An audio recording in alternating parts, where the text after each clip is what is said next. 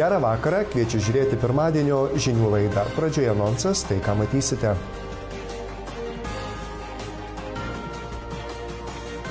Prasminga akcija iš širdies į širdį jau antrus metus nudžiugino Marijampurės senolius. Grįžulo ratuose dvi puikias emocijas dovanojančios parodos. Sasnavos bendruomenė šventės pasitinka prisimenant tradicijas. Tęsiasi graži Marijampurės trečiojo amžiaus universiteto ir ryto pagrindinės mokyklos draugystė. Prasideda Marijampurės savivaldybės geriausių metų sportininkų apdovanojimų konkursas.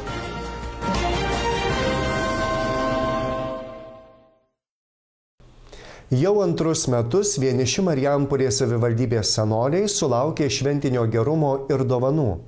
Marijampurės moterų Lions klubas kartu su bičiuliais, vykdydami akciją iš širdies į širdį, daugiau nei pušimtį seniorų nudžiugino kalėdiniais lauknešėliais, su maisto produktais ir kitomis dovanomis. Marijampolės moterų Lions klubas kartu su savanoriais pagalbininkais sekmadienį užkūrė nemažą šventinį šurmulį, ruošė, pakavo ir išvežiojo kalėdinės dovanas vienišiems, tokojantiems senoliams.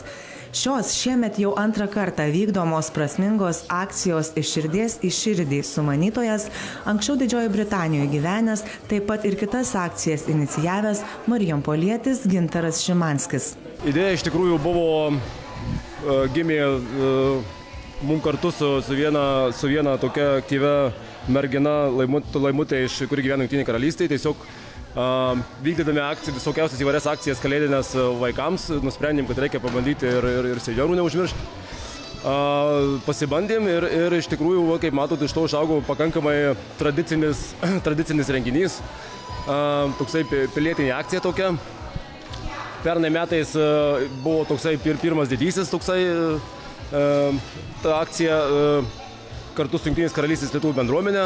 Ta, šį, šį renginį pabandėme įvykdyti. Jie taip pat šiais metais tęsė tą, tą akciją. O mes, kaip matot, su, su, su, su Lions klubu tęsėm mūsų mieste. Marijampolis moterų Lions klubas pernai atsiliepęs į kvietimą prisijungti šiemet jau vienos iš organizatorių ir džiaugiasi galėdamos taip įprasminti švenčių laukimą. Idėja patraukė dėl to, kad matėme poreikį aplankyti vienišus seniorus, kurių iš ties yra nemažai kurie negauna jokios socialinės paramos ir yra ant tos lenkščio, kada tos kalėdos gali būti labai labai liūdnos. Tai nusprendėm, kad visgi nesiorientuosim į pigiausius produktus, o norėjom jiem padaryti šventę. Manau, kad mums pernai tikrai pavyko, nes surinkom gaus, gausų būrį rėmėjų ne tik Lietuvoje, bet ir užsienį. Esam labai dėkingos jiem. Aplankydamos senolius, matydamos jų švytinčias akis, džiaugsmo ašaras, nuostabo, nuostabos kupinas akis, supratom, kad yra prasmė tokią akciją tęsti ir šiais metais. Organizatoriai džiaugiasi, kad kvietimas prisidėti, paukoti ir prisijungti prie gražaus bendro tikslo neliko neišgirstas. Akcija sulaukė palaikymo. Taip ne tik nudžiuginant senolius, kuriems dovanos skirtos, bet ir pačius akcijos dalyvius, kurie sako, kad bendrystės jausmas nemažesnė dovana. Tikslas buvo, žinoma, pamaloninti seniorus vienišus. Bet visgi buvo tikslas ir bendrystę, skatinti bendrystę mūsų mieste, sukviesti kviest ne tik žmonės, bet ir organizacijas, prisidėti prie, prie, tokių, prie tokių akcijų kalėdų laikotarpį. Pastebim, kad yra, yra, yra žmonės ar organizacijos ar, ar įmonės, kurie, kurie kaip ir reguliariai prisideda prie tokių dalykų. Tai, tai kol kas negalim skūstis, tikrai šį metą, kaip parodė, tikrai labai labai sėkmingai viskas susirinkom ir pinigėlių, ir, ir, ir Maxima padėjo, ir, ir Akonitum įmonė, ir yra daug įvairių individualių rėmėjų. Galbūt patikėjo mumis tuo, ką darome. Galbūt iš tiesų kyla kiekvienam poreikis būti naudingam ir įprasminti save būtent tokioj veikloj. Nes duodamas kitam, bet kokiu atveju ir pats praturtėjai. Tai labai džiaugiamės, kad šiais metais to aukotojų būrys iš ties labai gausus. Šiais metais prie, prie, prie mūsų šitos gražios akcijos prisijungė Maksimos tinklas, kuris paremė mus maisto produktais. UAB Artunas Akonito maisto papildais. Ir pavieniai aukotojai taip pat aukojo ne tik pinigais, bet koinėmis ir įvairiais kitais daiktais. Organizatoriai dėkingi ir Didžiojoje Britanijoje aukas akcijai renkantiems Laimutėje Braitytei, Tomui Malneikai, taip pat asmeniškai prisidėjo ir klubo Lions moterys, o prie savanoriško darbo pakuojant ir išvežiojant kalėdinius lauknešėlius prisijungė ir Lietuvos policijos mokyklos kursantai. Iš viso šiemet aplankyti 55 vieniši stokojantys senoliai, kurie sulaukė ir dėmesio, ir šilumos, ir gausių kalėdinių lauknešėlių, kuriuose ir maisto produktai švenčių stalui, ir ne tik, ir kiti būtiniausi dalykai praversintys kiekvieną dieną. Kaip sako organizatoriai, iš širdies į širdį duodamas kažką kitiem labiausia, kaip ir sakiau, praturtėjai pats. Gauni vidinį pasitenkinimo jausmą, kad gali, gali duoti. Tai iš tiesų kartais duoti yra labai paprasta, bet imti yra labai sudėtinga. Ką ir parodė praeitų metų patirtis, kad iš tiesų senolių akis žibėjo džiaugsmo ašaromis ir jie buvo dėkingi už tai, ką gavo ir, ir kad juos aplankėm.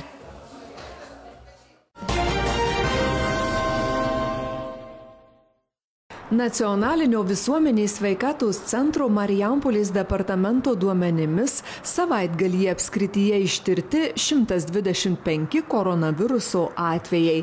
Marijampolės savivaldybėje 47, Vilkaviškio rajone 43, Kazlų rūdoje 14, Šakių rajone 13, Kalvarijos savivaldybėje 8. Lietuvos statistikos departamento duomenimis Marijampolės savivaldybėje per 14 dienų 100 tūkstančių gyventojų tenka 840 COVID-19 lygos atvejų. Nuo šios lygos iš viso paskiepyta 65 procentai Marijampolės savivaldybės gyventojų. Iš jų pilnai 44,8 procento, stiprinančiaja doze beveik 18 procentų. Marijampolės ligoninė informuoja, kad nuo COVID-19 lygos gydomi 54 pacientai. Iš jų 52 reikalinga deguonies terapija. Anesteziologijos ir intensyvios terapijos skyriuje gydomi du pacientai. Per savaitgalį ligoninėje nuo COVID-19 lygos mirė keturi pacientai. Penktadienį dvi naujos parodos atidarytos rezidencijoje Grįžulo ratai. Viena kviečia pasinerti į spalvų ir žiedų pasaulį, kita dovanoja šventinę kalėdinę nuotaiką. Kviečiu pasigrožėti. Rezidencijos grįžulo ratai lauko galerija kviečia pasinerti į kalėdinę pasaką. Ja sukūrė Marijampolės liaudės menininkų klubas Mūza. Į stiklinę galeriją jau iš tolo kviečia užsukti stebuklingi veidrodžiai, jaukumą, šilumą, kalėdinę nuotaiką skleidžiantį žibintą ir sietynai. Kalėdiniai pasakoje yra pirmiausiai stebuklingi veidrodžiai. O tie veidrodžiai yra stebuklingi todėl, kad kiekvienas, ar jaunas, ar senas, ar mažas, prieja prie jo, randa pirmiausia save ir kiekvienas pamato save nepaprastai gražų. Ir e, tuo pasistengė, kad tas grožis atsiskleistų kiekvienu, tai būtent mano klubo menininkės, tai pirmiausia Ernesta Boželytė Liobienė ir kita būsimoji, ko gero, mūsų klubo narė, bet šiuo metu savanori Živilė Abraitinė. Žibintus, sietynus ir kitus papuošimus iš popieriaus iškarpė Ona Birutė Surdokienė kalėdinė pasaka turi keliauti per Sūduvą. Tai mes savotiškai pradedam ir Sūduvos metus. Ir tokių pasakų Liaudės menininkų klubas Mūza daro kas metai Marijampolės kultūros rūmuose. O Marijampolės kultūros rūmai globoja ir grįžulo ratus. Ir globojam jau maždaug trys metai ir su įvairiausiom parodom. O pačioje rezidencijoje karaliauja spalvos. Čia tapybos darbus ant dvigubo šilko pristato Šakių rajono menininkė Audronė Vorevičienė. Dailės pedagogė dirbanti moteris pirmiausia išbandė gobelenų audimą. Vėliau susidomėjo batikos technika. Bandė jėgas knygų iliustracijoje. Pastaruoju metu tapo ant dvigubo šilko. Autorė pasakoja, kaip gimė ši unikali technika, žavinti lengvumo ir skaidrumu. Tapiau paveikslą, nutapiau, paskui šalikėlį, tas paveikslas buvo ant storesnio šilko, o šalikėlis plonesnio šilko. Ir taip netyčia užmečiau. Na ir, ir, ir, ir aš pagalvojau, kaip, kaip gražu tas stereo vaizdas ir labai užsinorėjau, kad tai būtų. Nu ir mano vyras auksarankis, auksas širdis ir, ir jisai įgyvendino mano svajonę. Audronės darbuose dominuoja gamtos motyvai.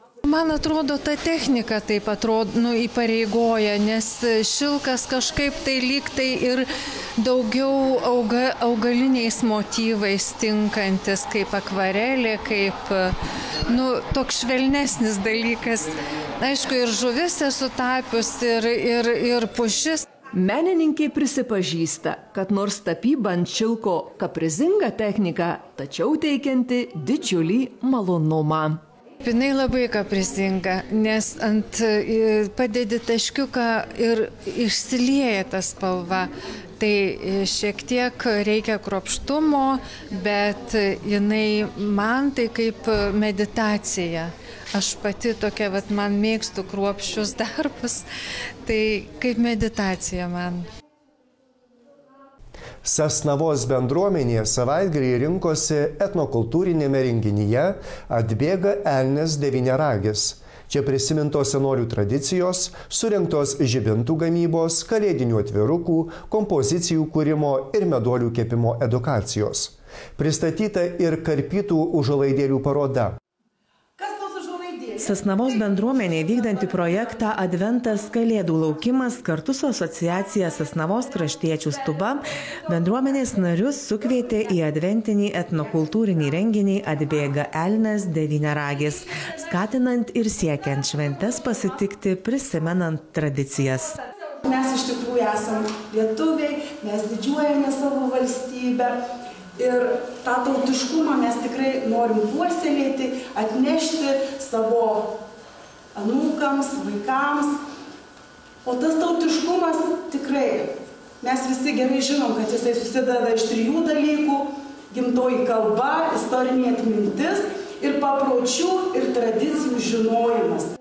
Susirinkusieji išgirdo, kaip kalėdų laukdavo ir jas sutikdavo mūsų senoliai, kas yra ir ką atneša per kalėdas atbėgantis Elnes devyneragis ir kuo nuo kalėdų senelio skiriasi senelis kalėda. Jis kitaip rengėsi lietuviškas senelis, jis kitaip dainavo, kitaip šoko, kitokius pasakojimus pasakojo ir myslės mini ir net kitokias dovanas dovanojo. Vėliau susirinkusieji sulaukė ir paties senelio kalėdos, o jo belaukiant visi buvo įtraukti į kalėdinės edukacijas. Visada mes laukiam kalėdų. Laukiam to elnio devinragio, kuris atneša saulę, parneša ją. Jinai vėl pradeda rėdėti naujų ratų ir vis ilgėti ir ilgėti diena. Dabar nuo šventos Liucijos iki kalėdų stop, saulė stovi vietoje, o paskui pamažu, pamažu ant tų ragų jinai pradės šviesti ilgiau. Taigi mes naudojamės saulės šviesa. Tvarus ar ne? Bet šitas mūsų projektas ir šitos mūsų edukacijos, kurios šiandien vyks, taip pat labai tvarius. Tvarumą pabrėžianti ir akcentuojanti Sasnavos bendruomenė ir kalėdinės dekoracijas kvietė ir mokė gaminti taip, kad būtų kuo daugiau kūrybos iš panaudotų daiktų. Pavyzdžiui, žibintai buvo gaminami panaudojant atlikusius stiklainius, atvirukams panaudotas pernykščių švenčių dovanų popierius, šventinės kompozicijos buvo daromos į skardines aprengtas seno mėgstuko rankovėm. Ir kaipgi be kalėdinių meduolių, ir vaikai, ir jų tėveliai galėjo išmokti įsikepti šių skanumynų. Vėliau juos ragavo, o pasigamintas dekoracijas galėjo parsinešti ir pasipuošti namus o bendruomenės namų langus papuošė Birutės Labutytės popierinių karpytų užuolaidėlių paroda Žiemos pasaka, nukelianti ne vieną dešimtį metų atgal ir taip pat priminanti mamų ir močiučių tradicijas. Tais laikais, kai nebuvo internetų, nebuvo televizijos ir net paprasčiausio radio. Tais laikais, kai už lango tikrai būdavo balta, apšerkšnyje ir šalta, tai mamos puošė savo namus įvairiai laukdamos e, švenčių, o taip kaip Loretutė sakė, nu, visi stengiasi ir žmonės patys kūrė, iš ko turėjo. Užuolaidėlėmis pasigrožėti gali ir visi praeinantys ir pabandyti surasti autorės čia sudėtus šviesos ir šilumos simbolius. Su artėjančiomis šventėmis visus pasveikino ir Sasnavos seniūnė Nijolis Milgienė, palinkėjusi, kad ateinantieji metai būtų nemažiau kūrybingi. Artėjančių švenčių proga ryto pagrindinės mokyklos bendruomenę su dovanomis aplankė Marijampurės trečiojo amžiaus universitetas. Jo dailės technologijų fakulteto lankytojos padovanojo eglučių, jos pagamintos iš antrinių žaliavų. Mokyklos direktoriaus teigimu, kartu bendradarbiavimas abiem pusėms duoda daug teigiamų dalykų.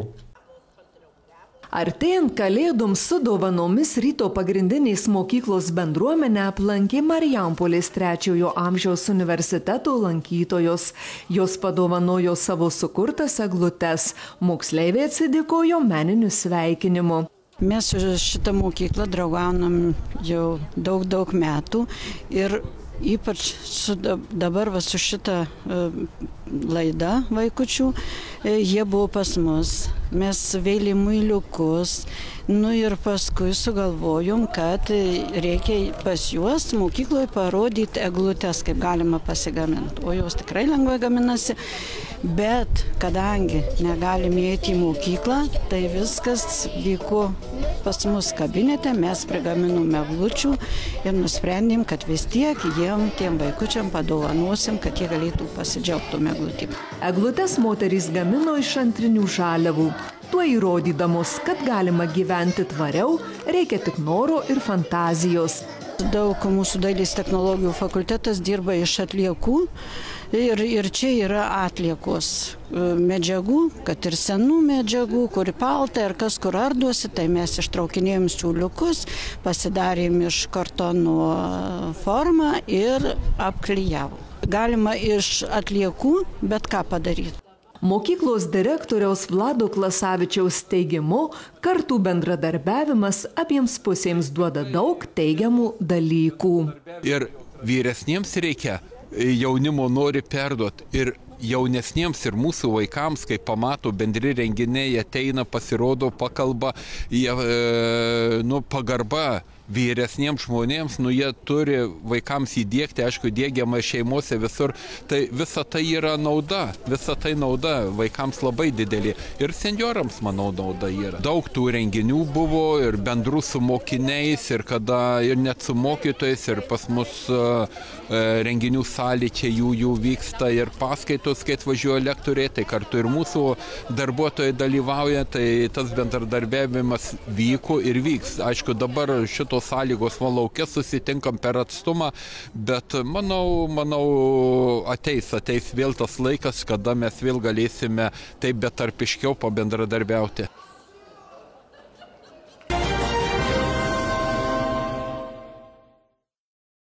Prasideda Marijampolės savivaldybės geriausių metų sportininkų apdovanojimų konkursas. Jis vyks dviem etapais. Pirmame savo balsus už jų nuomonę geriausius sportininkus kiekvienoje nominacijoje atiduos gyventojai. Antrame etape savo nuomonę pareikš komisija. Nominacijų nugalėtojai bus išrinkti susumavus abiejų etapų balsus. Konkurso organizatoriai kviečia iki gruodžio 31 dienos 14 val. siūlyti asmenis nusipelniusius paskelbtose apdovanojimų kategorijose. Nominacijos - Olimpinės sporto šakos metų sportininkas top 10. Neolimpinės sporto šakos metų sportininkas top 5. Populiariausias metų sportininkas, metų sporto treneris, metų sporto renginys, metų sporto komanda arba klubas už nuopelnus sportui. Tiek informacijos paruošėme šiandieną, gražios šios savaitės sudie.